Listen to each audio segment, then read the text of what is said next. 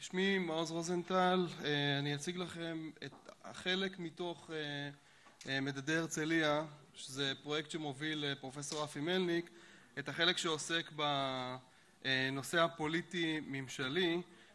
אמרה קודם נשיאת העליון לשעבר שמשילות זה קונספט מן העבר, אז אנחנו ככה עדיין תקועים בעבר, ואנחנו מנסים להבין את היכולת של הדמוקרטיה הישראלית כן להחליט ולבצע מדיניות ציבורית ועדיין לשמור על המסגרת הדמוקרטית. לצורך הנושא הזה, מה שעשינו, אנחנו למעשה בחרנו איזשהו מין מערך נתונים מתוך פרויקט השוואתי ענקי שנערך בווזב בברלין בשיתוף פעולה עם מספר אוניברסיטאות אירופיות, שבו הם אספו 105 אינדיקטורים ממספר די נרחב של מאגרי מידע. הטווח של המדידה הוא מ-1990 עד 2014, בקרוב יהיה את החבילה הבאה של ערימת הנתונים. הם לקחו גישה מאוד אמפירית למה זה דמוקרטיה, כלומר הם הסתכלו על דמוקרטיות מתפקדות, משגשגות, שמוכרות על ידי מרבית העולם כדמוקרטיות בשנות התשעים, גזרו מהם את המדדים, את מדדי הביצוע, נקרא לזה הדמוקרטים המובילים, ומתוך זה הם קבעו אותם כבנצ'מארק, שמתוכו אנחנו מודדים מדינות אחרות שנכנסו לתוך הפאנל שלהם, כולל את המקרה הישראלי.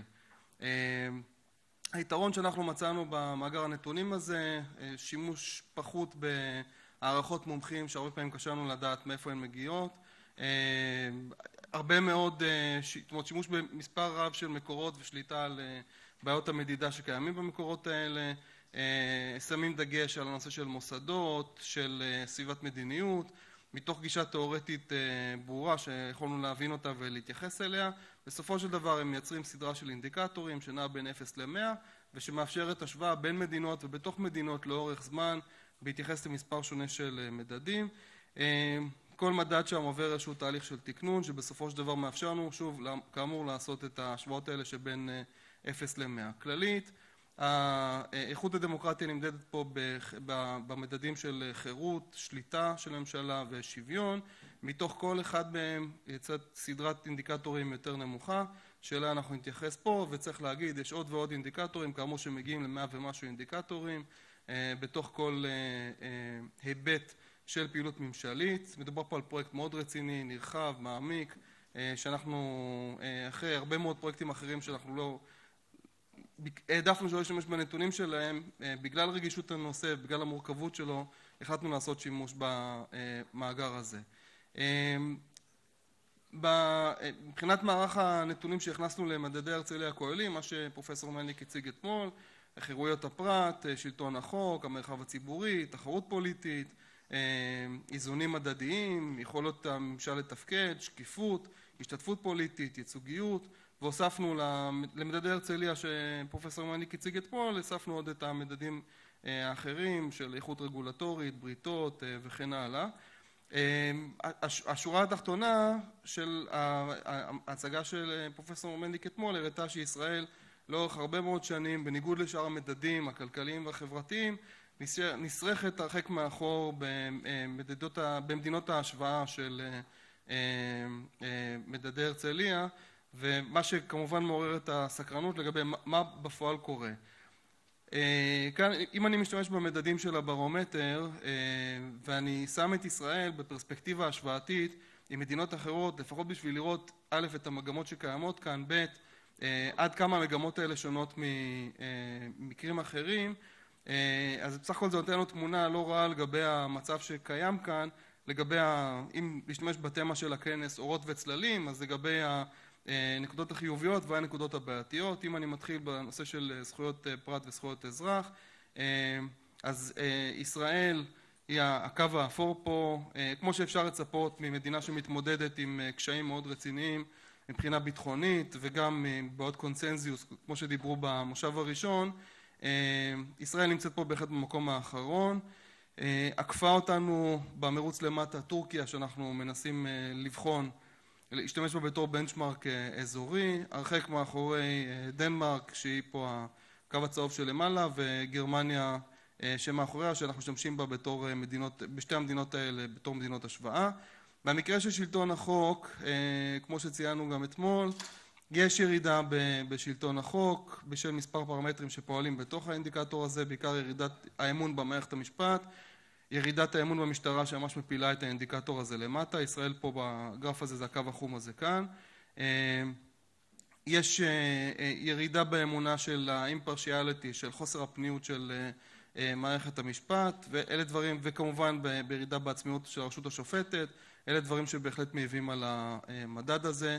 אבל מצד שני, אמרנו אורות וצללים, אפשר לראות שההבדל בינינו לבין גרמניה, שהיא היום דמוקרטיה חוקתית, משמעותית, רצינית, הם לא הבדלים מאוד רדיקליים. כלומר, אנחנו עדיין נשארים בסביבה של של מדינה מפותחת שהרבה משווים את עצמם ומנסים להתחבר אליה ברמת הדמוקרטיות שלה, אבל באמת קשה לדעת עם המגמות הנוכחיות, מה תגיד לנו חבילת הנתונים הבאה.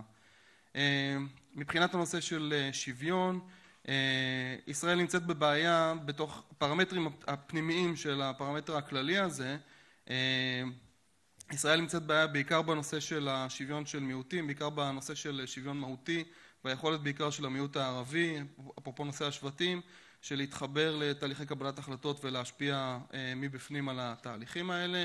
מבחינת השתתפות פוליטית, ישראל פה היא בהחלט מקום מצוין למעלה, עם ירידה מסוימת לאורך השנים, שבעיקר נובע מבחינת המדידה של הדברים, מפערים שקיימים בתוך החברה הישראלית ובנכונות להשתתפות פוליטית בחלקים של החברה הישראלית.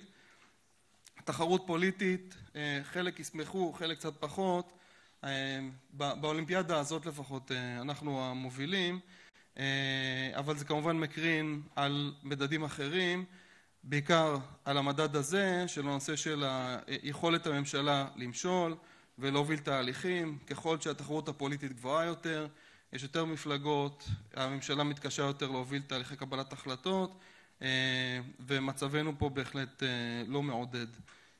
אנחנו, אם אתם רואים, אנחנו פה בארבע מדינות ההשוואה האלה, אנחנו מתחרים על המקום האחרון ומדי פעם מנצחים שם.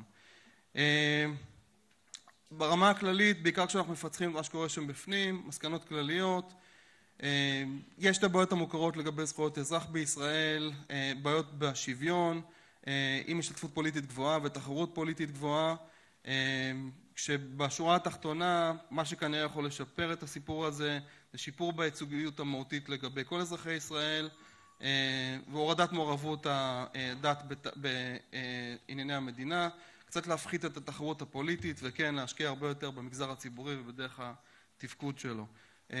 עד כאן הנושא הזה, אני רוצה להזמין בבקשה את פרופסור אמנון רובינשטיין מיודענו לשאת דברים לגבי הנושאים שדיברנו עליהם ואין צורך להציג את פרופסור רובינשטיין, אבל כאמור מגדולי ומובילי הדיון במשילות ודמוקרטיה בישראל, גם ברמה המעשית, גם ברמה האקדמית ואנחנו שמחים וגאים שהוא מדבר על הנושאים פה.